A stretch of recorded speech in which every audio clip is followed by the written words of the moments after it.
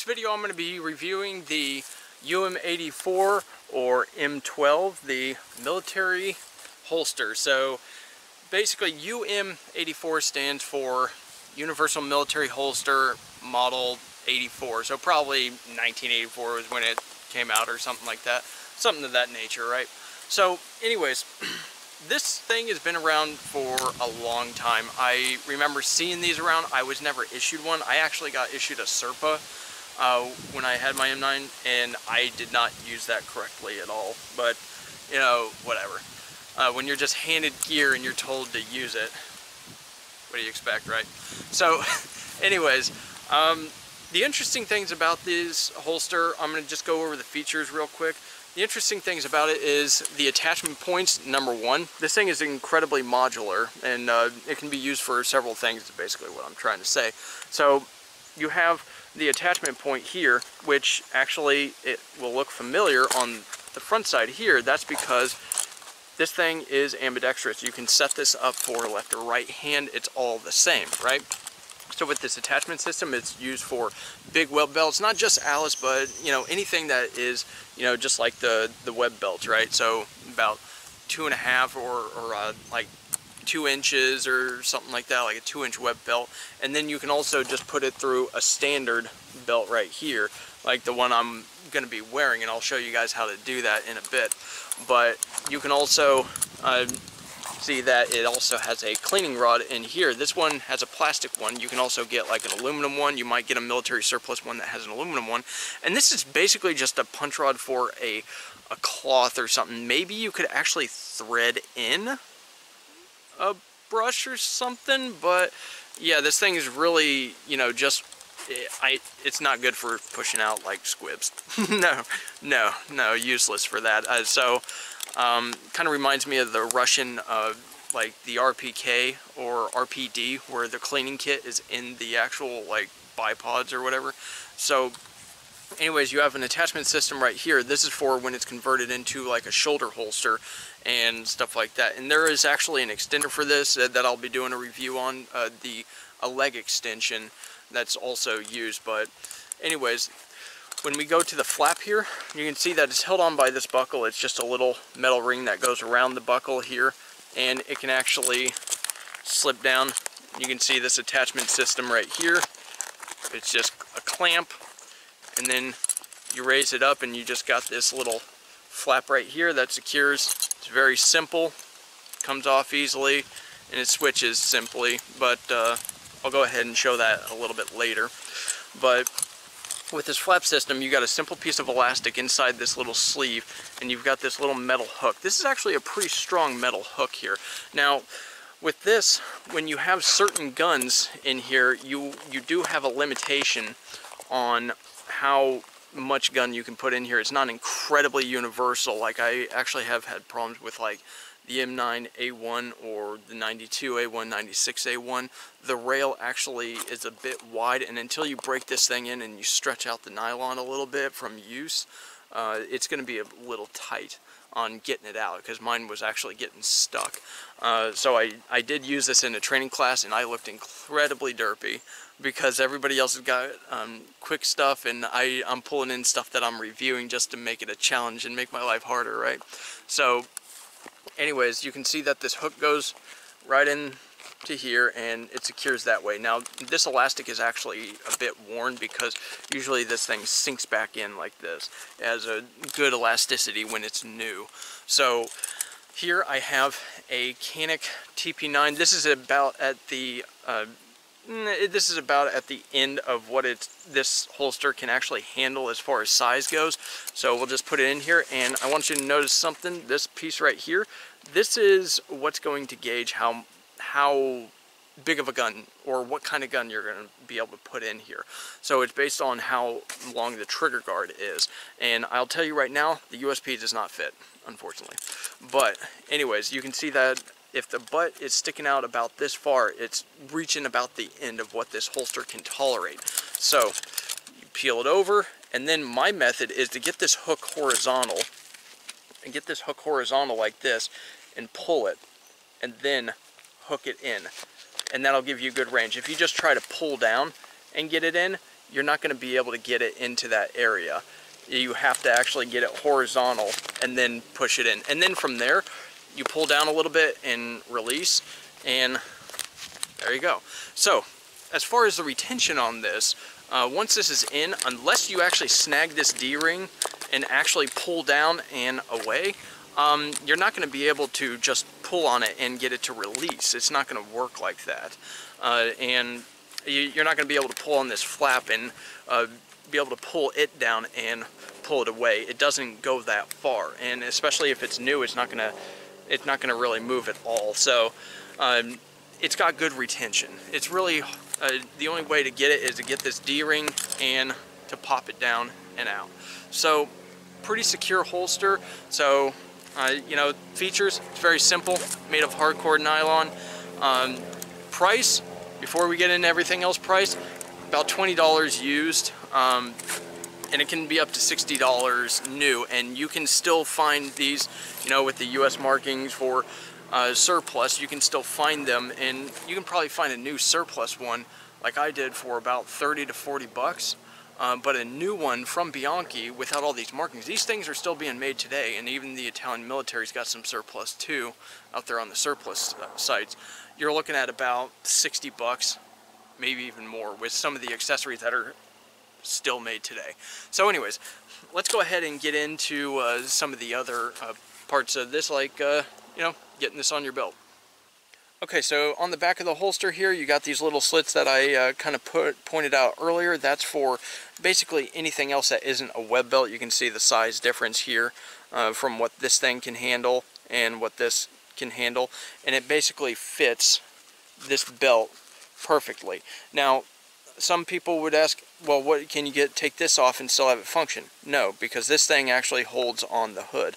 So, no, you can't do that. So, basically, it doesn't really get in the way at all. So, you just thread it in, and the cool thing about this is that it's really easy to thread in, even with the with the gun on. It's not too tight, but it's like it's got very little slack after it's all after it's all on got very little slack here. So that's a good thing in my opinion. And then you just thread your belt through the rest of the loops and that's pretty much it. So this is basically how I would have to shoot today because I'm not putting on any web gear, I'm not putting on anything else. Does it look a little dopey? yeah. Yeah, it's going to look a little dopey if the neighbor sees it or anybody else sees it. Heck, you're seeing it right now and it's looking a little dopey to you probably. So, anyways, let's go ahead and do a little demonstration on how to use this. Okay, so the first thing is getting your pistol into the holster. So I have the flap open, I inserted it, pushed it down. It's basically reached the end of the nub here, or the trigger guard is basically touching the nub, and now I go ahead and my technique for something that's basically oversized is to pull up and then hold tension outwards as you're going around. And then again pushing horizontally like with the palm and then you pull it up and slide it into that little sleeve. If you just try to pull down and find the sleeve then it, it's probably not going to work. At least it doesn't really for me. So basically that's that's holstering. And if you have something like a 1911 or an M9 or whatever uh, it's going to be pretty simple. You just pull down from here and then you, you just bring it down, pull down a little bit, and then the sleeve will be easily found when you're pushing up against the holster. You pull down, push up against the holster, and there you go. It doesn't really work because you need all the extra little room and wrapped around, you know, for this for this pistol because of the size. And uh, yeah, it, it's yeah, it's a bit of, of a pain. Okay, so when you're drawing the pistol, basically, as you see there, I you know, twist my wrist, basically, and there I go horizontal to get this thing into the sleeve. Basically just finding it with the palm and then rotating, and that's it. So, anyways, I'm going to go ahead and show you what this looks like doing a, doing a couple of courses of fire.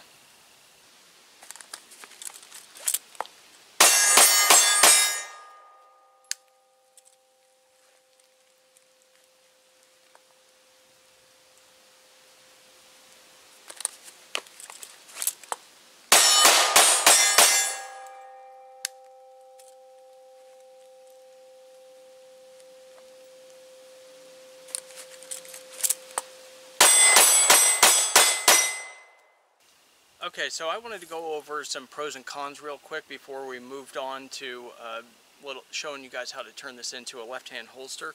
So, some things that I do like about this pistol, and some things that I don't. First, things I do like. I like that it covers the that it covers the pistol. I like that the retention method is actually not that hard to deactivate. Once you get the hang of it, it's really simple. It's really simple to put on. You just got to practice with it. I still fumble a little bit with it, but I don't use this holster all that much. I've been working with some other, I've been working with another holster that's in the process for reviewing. So uh, doing this, I'm kind of pulling it out of my butt because uh, I've had it sitting on, sitting with my gear for a while and going over military surplus stuff. But I did recently use this in a class within 96A1 and um, I like that I can still use a railed pistol for this. However, when I was running that class, I actually did have a little bit of sticking uh, with that pistol. Not only was the uh, retention strap elastic still stiff, but also the nylon was still stiff because I hadn't used it all that much. It had just been sitting there and sitting there like it was a reserve holster for whatever reason. But uh, now that it's kind of worn in and I've worked with it a good amount, uh, it fits pretty much any pistol that I can uh, put in there and that will actually, it can if it can cover it and secure it, it'll fit. So that's where it's at now. So I do like that it covers the pistol. I like that it's mostly universal, depending on the trigger guard size. And I also do like that you can attach it and, uh, to pretty much anything and you can basically you have attachments to where you can have a leg extension you can have a shoulder holster you have all these uh, different options. And here's the other thing it's still backed by Bianchi. Bianchi is still making these holsters. They may not say US on it but this holster and variations of it for different size pistols are out there. Magazine uh, pouches for the leg extender all the accessories are still out there and they're still being sold by Bianchi so even when the surplus market dries up, uh, or at least gets close to it, to where the price of new Bianchi stuff is less than the military surplus, um, then you'll have a good option. So anyways, now some things I don't like. The one thing I do not like about this holster is that uh, it, everybody would uh, see it. Uh, it's not there's nothing wrong with its durability. There's nothing wrong with, you know, the, its bulk or anything like that. It, it does fine. It attaches great. The only issue is that it's slower than what you can get on the market today. An ALS with a hood, a Safari ALS with a hood, uh, a Serpa with a hood, uh, a Serpa without a hood, an ALS without a hood, um, the GLS, which I got to do a review on. But anyways, uh, so here's my scenario that kind of paints this picture uh, the way it should be. So here's the thing. Going from rifle to pistol. And then needing to work on your rifle. You got to resecure the holster. And that doesn't that didn't seem like it took me all that much time. However, I've had to do this in in training and I've put myself under stress. I can't really do that on camera because I can't really be followed to kind of demonstrate this. So best I can do is mime it. So basically going rifle to pistol. I could have had my pistol out a little bit sooner. And here's the thing, if you're if you get a click, and there we go, I fumbled a little bit. So if that's precious time I could have been actually working on my rifle to fix any malfunction or reload it or whatever. Precious time is precious. So precious seconds are precious. So when you're up, you got to move down there and typically with most holsters, with most holsters you can actually, I like to have it on double action, but with most holsters, like the ALS or the Serpa or whatever, basically by the time my, uh, by the time my rifle gets down, I'm already bringing up and I'm basically meeting them together. With this one, I'm basically waiting on my pistol. Uh, so that's typically the problem I have with this holster. And then I've already grabbed my rifle and I'm sitting there analyzing and I've already diagnosed it by the time I'm already getting to the point of resecuring it. That takes time, that's precious time.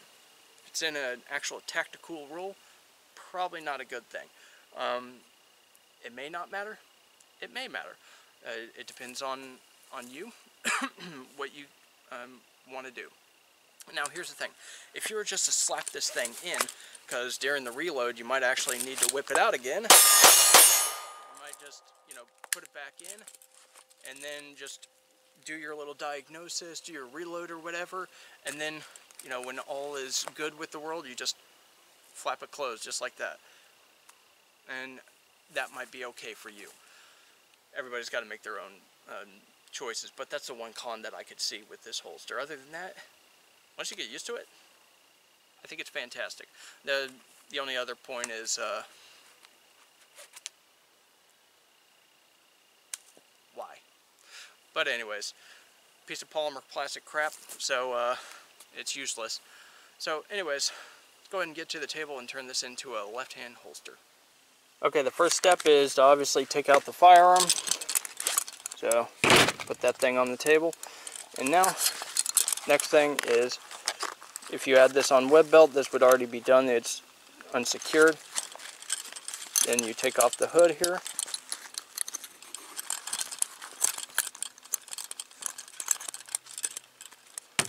And then, you basically got to slide this thing out. This is probably the toughest part of it is getting this thing underneath here. And that is your little clamp. And as you can see here real quick, for turning it, see, right here. Bianchi International, Universal Military Holster, U.S. and foreign patents pending. So, this is basically where it was at right here. It was covering up this M12 there we go, military designation, NSN. And then go over here to the US side and basically shove it in. And I'll go ahead and pull from the bottom here.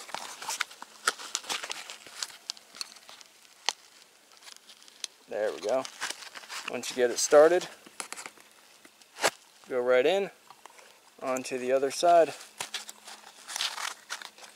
and you can't really secure it down until you got your hood on, which works both ways.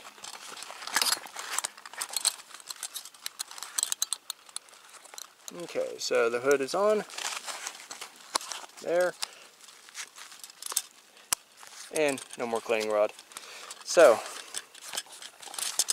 here, and you can see that this angled area right here seems to help with the slot or this little you know, piece right here coming out and going in. Just angles it a little bit to where it's a little easier. So even if you're off a little bit, this pointed area kind of helps helps you find it. Pretty big area for it to go. So you can be off a little bit and it'll still guide it in. So there you go. Now you have a left-hand holster. Now I got to change it back. So that concludes my review of the UM84 M12 military holster. So anyways, check out the channel Pegasus Tests. He did a review on this holster and plus uh, some other um, some other uh, parts of this and other uh, um, modular qualities that this holster has. And he did a, I think, a little bit more of an in-depth review than I did. I just basically did it off of uh, experience. He did it off of uh, basically how this holster works and everything. So he did a fantastic job on his video, so I'll put that in the description below. So anyways, I appreciate you guys watching. Go ahead and leave a comment if you ever used one of these and what you thought.